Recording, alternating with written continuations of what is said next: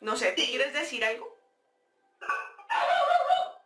¡Perrita! Hola, hola, yo soy Clau Melocotón, les doy la bienvenida a este canal, espero que todas se encuentren súper bien. Hoy, eh, pues el video es un poquito diferente, quizás un poquito más largo de lo normal.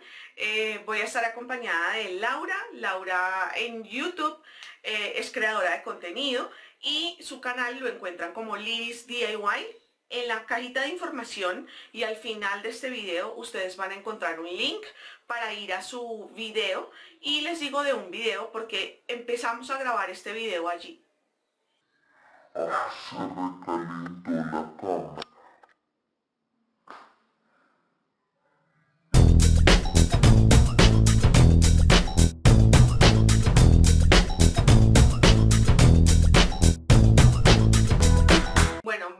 Continuar aquí las preguntas, así que Lau, haz la próxima pregunta.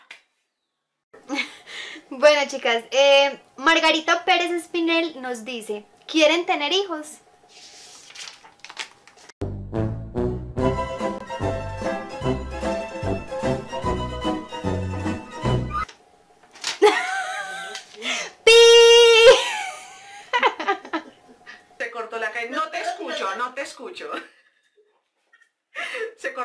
La señal se cortó. No, realmente ya no. En un momento de mi vida sí, pero ya no. No, y los perros y los gatos cuentan. ¿Qué más hijos? Por Dios. Pues la verdad es que en mi caso yo creo que eso es un... Un... Un no sé, más inclinado al no. Eh, en realidad no sé, o sea, yo creo que... No, o sea, tendría uno que tener una pareja con la que uno se entienda muy bien, que uno quisiera pues como que todo fluya bien. eh, y es difícil, es un poco complejo, eh, la cuestión económica también. O sea, aquí entran un poco como de factores que, que no sé, que lo hacen pensar a uno que no. Más inclinado hacia el no que al sí, pero igual pues yo creo que es una cosa incierta.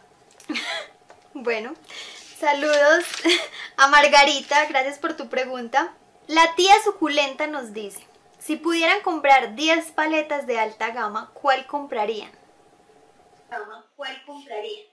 ¿10 paletas? Oh my god, a ver, quisiera mm, todas las, completar toda la colección de Color Pop.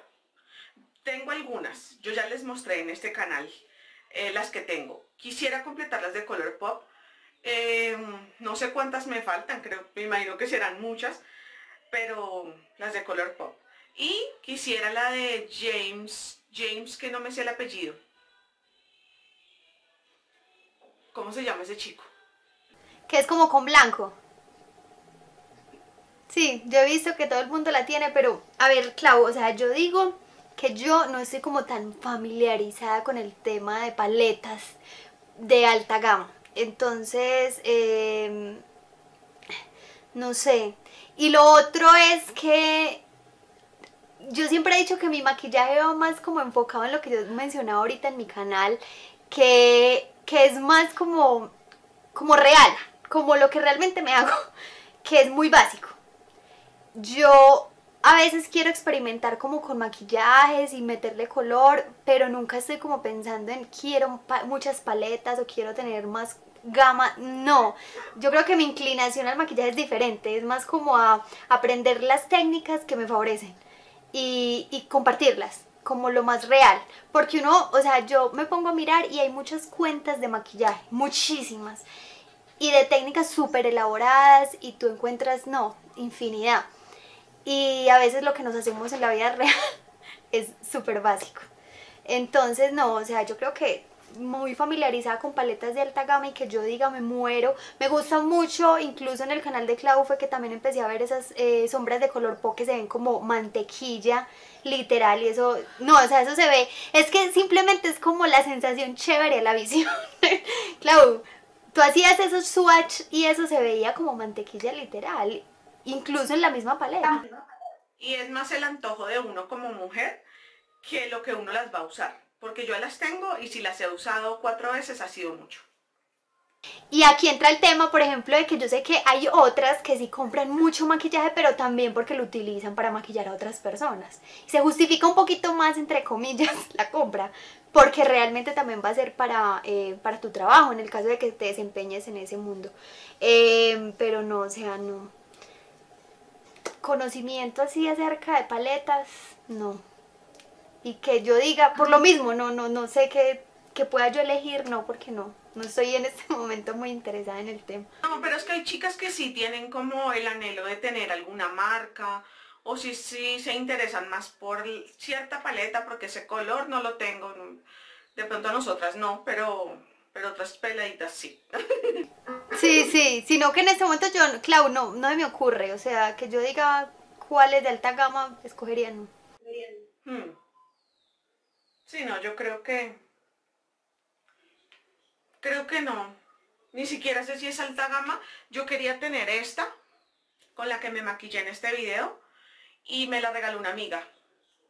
No la tuve que comprar. Y chévere. Pero, pero más allá, pues no me compraría el resto de paletas de la marca. Como que también le entra uno y la inversión y todo eso. y si las va a usar, no sé. Eh, pero bueno, pues es como lo que le gusta a cada chica, ¿no? Sí, es verdad, es verdad. Sí, no, es verdad. Hay gente que invierte en unas cosas y ya es respetable. Totalmente. Saludos a la tía suculenta. Julián, Juliana 121 nos dice, ¿cuáles son sus bases favoritas? La Resist de Vogue, en la Trumash de L'Oreal, y la Fit Me de Maybelline. Bueno, coincido con la Resist de Vogue y la, y la Fit Me de Maybelline. Eh, me gusta la, la de Wet n Wild también. Eh, me parece chévere. Es divina. Sí, y, y para fotos, queda hermosa. Esa base queda muy bonita.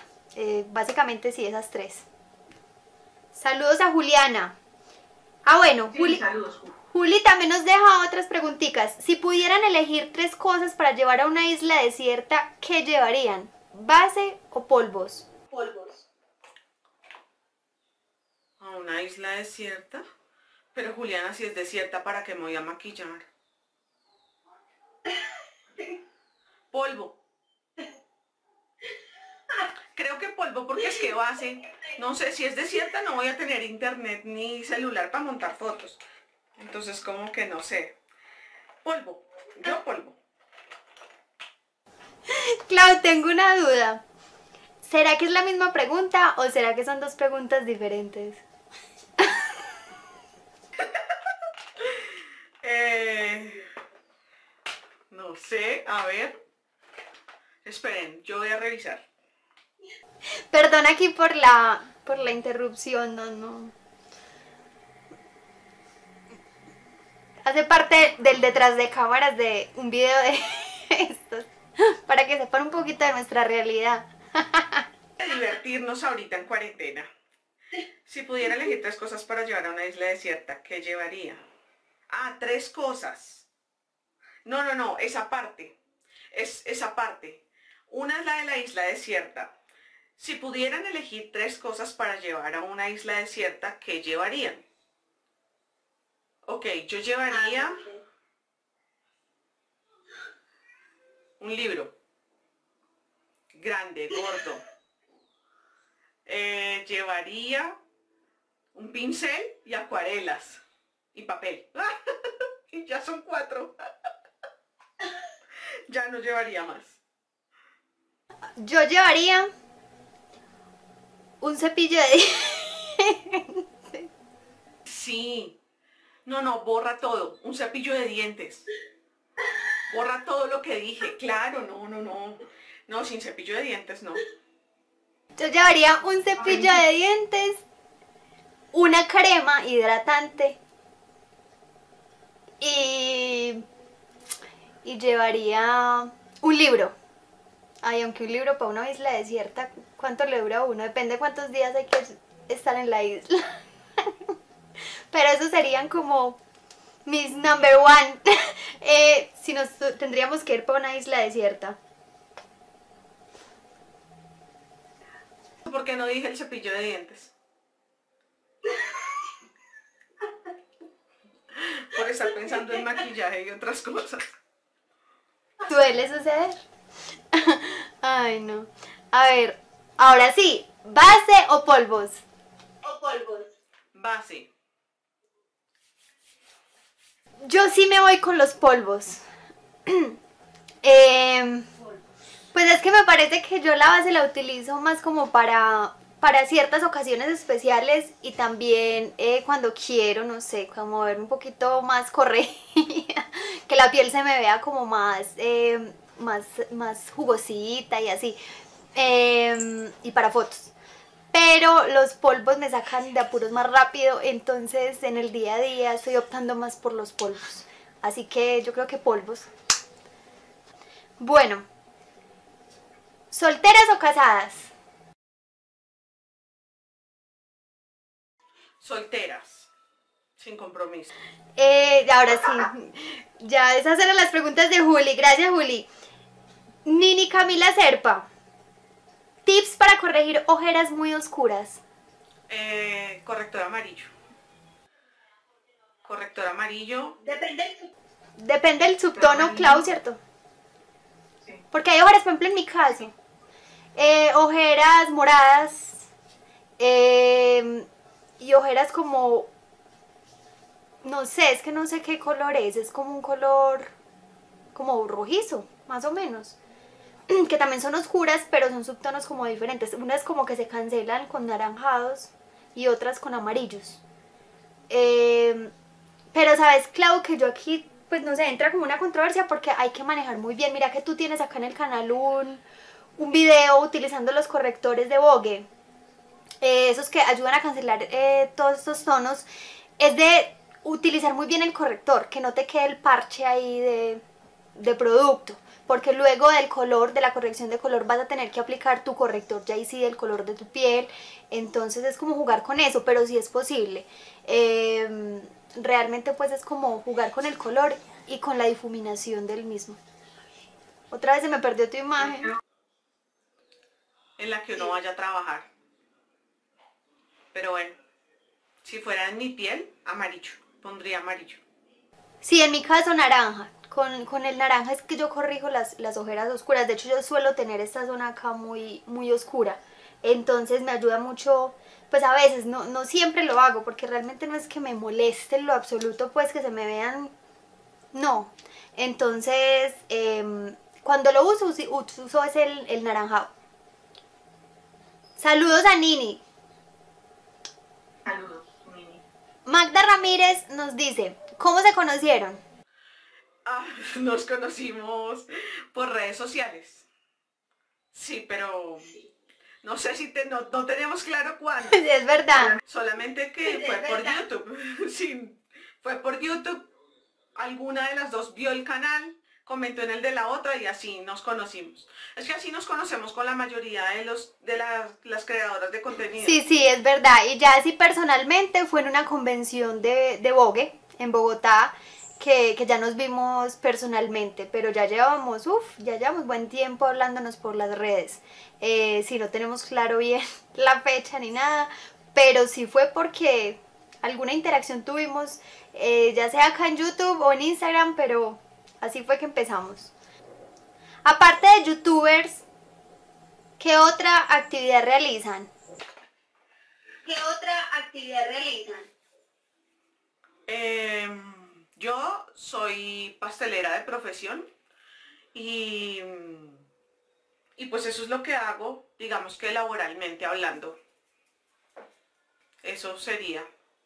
Eh, yo soy odontóloga, eh, ejerzo mi profesión y ya, esta parte es un hobby, un hobby que nos da platica también, pero realmente no es nuestra dedicación completa de tiempo. Pero realmente ¿Dónde aprendieron a maquillar?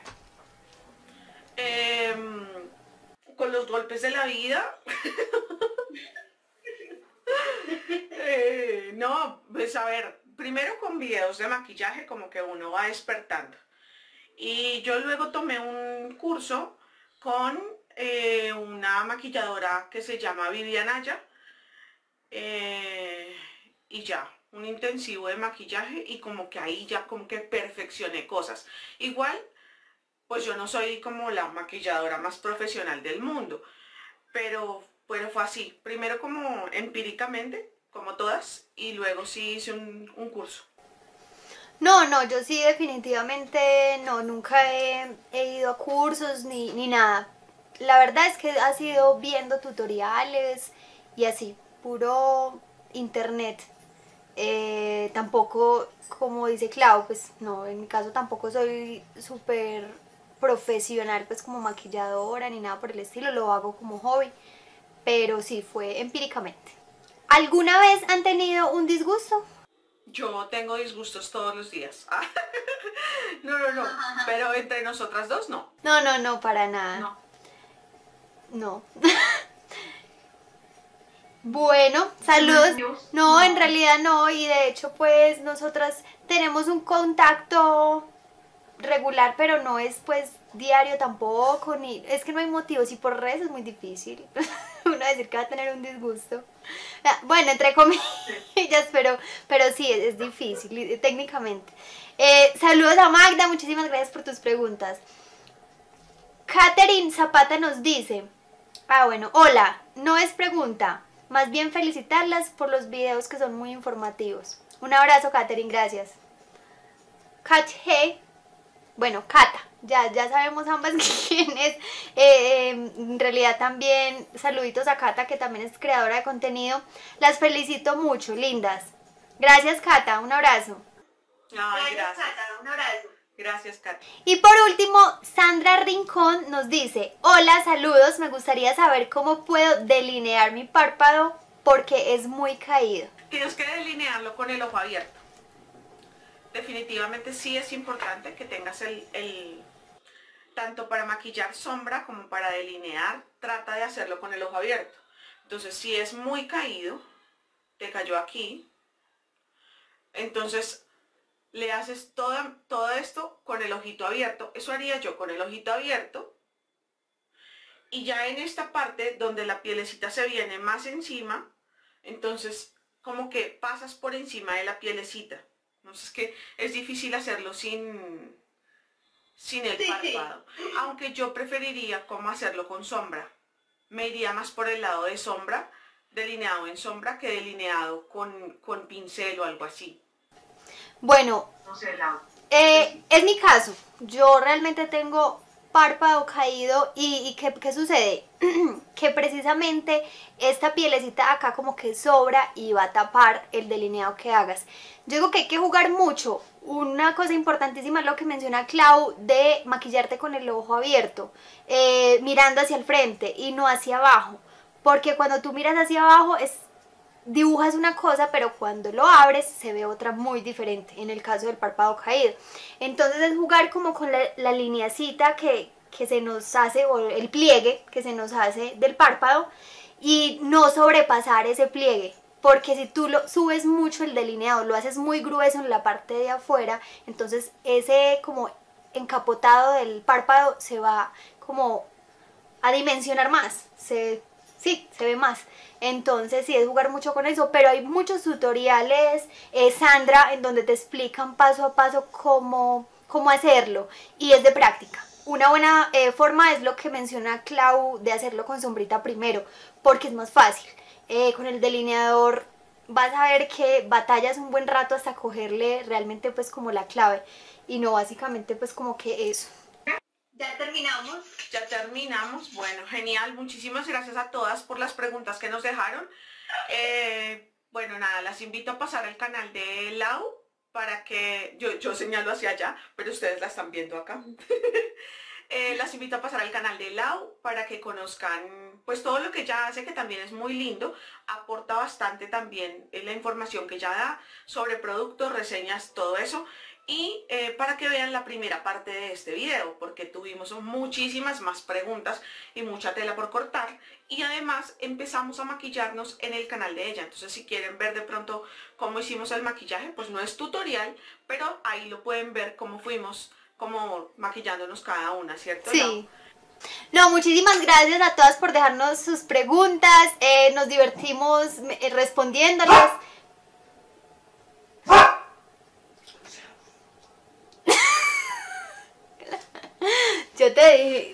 No, pero es que, es que eso es así y, y no, o sea, tampoco hay por qué mm, como cortar las transmisiones ni nada, ni la grabación, porque ustedes entienden que estamos a través de una llamada de computador y grabando a la vez. Entonces puede pasar cualquier cosa, puede pasar cualquier locura. Pero bueno, disfrutémoslo, es cuarentena, chévere. Gracias a todas, un abrazo. Las espero por mi canal. Mucho, chao, chao. Ay, no, qué risa.